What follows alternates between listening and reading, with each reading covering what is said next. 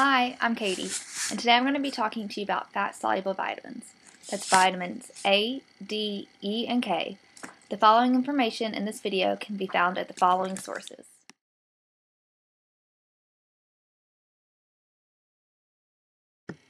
The first vitamin we're going to talk about is vitamin A. Vitamin A is also known as retinol. Retinol is used to help maintain night vision, to help in protein synthesis, and also is important for cell differentiation. In order for retinol to have vitamin activity, it requires four things. The four things in order to have retinol vitamin activity is a 1 beta ionone ring intact, no oxygen in the isoprenoid chain. The isoprenoid chain also must have its terminal end either being carboxyl, aldehyde, or alcohol function, and trans are also going to give the greatest activity for retinol. Now that we've seen what gives vitamin A its vitamin activity, we're going to see how those things can pertain to its structure. Another form that you can find vitamin A in is also beta carotenes. Beta carotenes are going to have a similar structure to retinol, minus it's going to be two of the retinol structures combined, where they're both going to have the beta ionone rings at the end. At least 6 grams of beta carotene are used to yield 1 gram of retinol. Raw retinol can be found in animals, carotenoids can be found in plants, but also some animals. The sources of vitamin A are liver, milk, egg yolk, leafy vegetables, citrus, carrots, and tomatoes.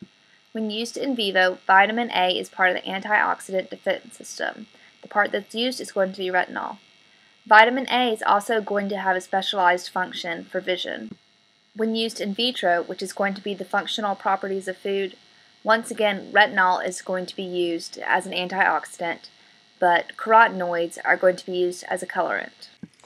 The next fat-soluble vitamin we're going to talk about is vitamin D, which is also referred to as calciferol. Vitamin D actually is increasing the adsorption of calcium in the small intestine and is also promoting mineralization and growth for the bones.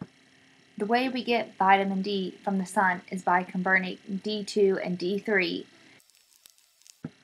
D2 is ergocalciferol, which is found in yeast, fungi, and plants, and D3 is cholecalciferol, which is going to be found in animal tissues.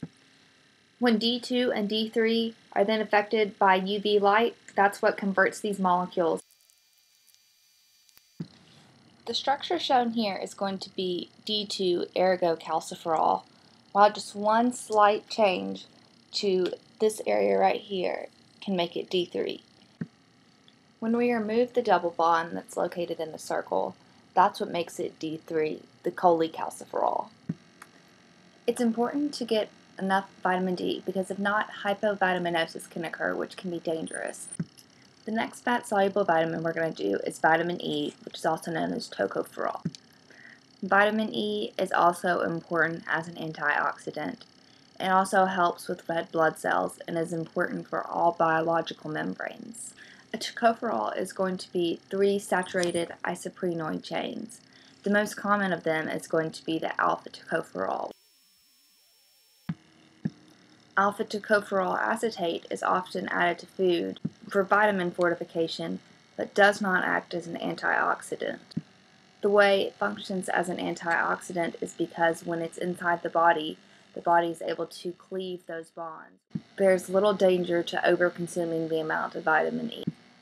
The source of vitamin E is going to be found in fats and oils, in vivo in the antioxidant defense system, and in vitro will act as an antioxidant. The last fat soluble vitamin we're going to talk about is vitamin K. Vitamin K is also known as methionine and is important for being a necessary part in blood coagulation and it's also is going to be involved in post-translational modification of proteins, and also is going to be used as a pharmaceutical anticoagulant. There's two major groups of vitamin K, and that's going to be the phylloquinone and also the menaquinone. Phylloquinone is going to be K1, and it's going to have three isoprenoid chains involved, and K2 is going to be the menaquinone, which is going to have 2 to 7 isoprenoid chains. K2 is going to be isolated from animal and bacterial sources.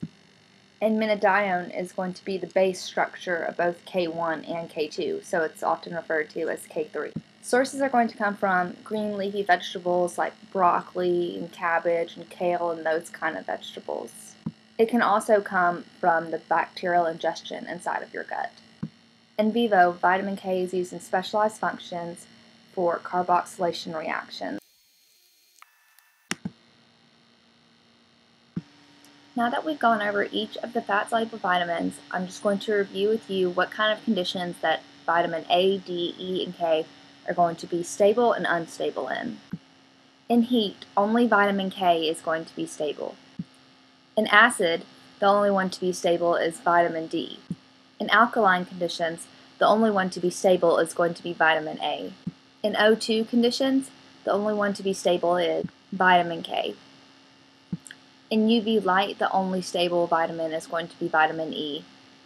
Anytime that metal is involved, all four fat-soluble vitamins will not be stable.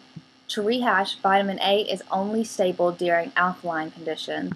Vitamin D is only stable during acid conditions. Vitamin E is only stable during light or UV. And vitamin K will be stable during heat and O2 conditions.